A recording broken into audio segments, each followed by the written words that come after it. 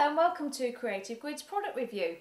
The product that we're going to show you today is a rotary blade sharpener that's suitable for 45 and 60mm rotary cutters and any manufacturer of rotary cutter which is a real bonus.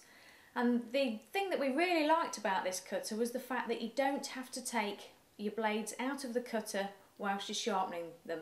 We all know the ones that you have to take out and rotate. With this one we loved it because you just don't have to and it's so simple to use. So I'll show you now how simple it is to use. So this is the product here. And what you've got is you've got a stone running all the way along there.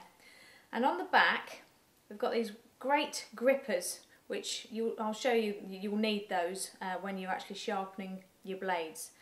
And along the side here there's drill holes on both sides. And we think it would be a great idea to attach it to a piece of wood because when you use your rotary cutter what you want to do is hold the, sharp, the uh, sharpener as you would a ruler. But this is a definite no-no. You have to keep your hands away from the blade sharpener when you're cutting. So I'll show you now how to sharpen a 45mm rotary blade.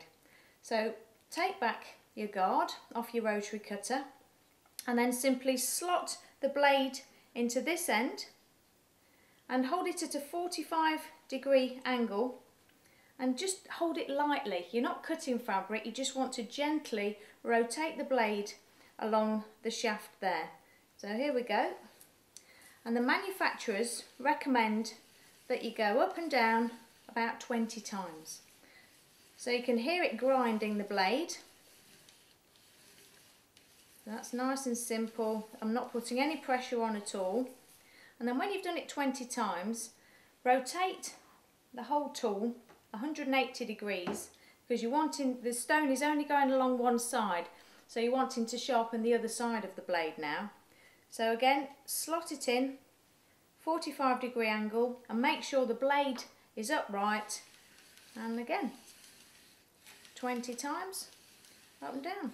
So bring out all of those blades that you've put by over the years one thing though, these will not take nicks out of the blades, so they do need to be thrown away.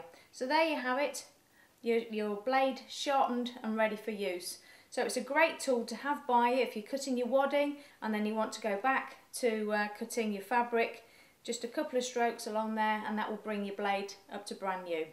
So there you are. If you want to see more about uh, the product then click the link below.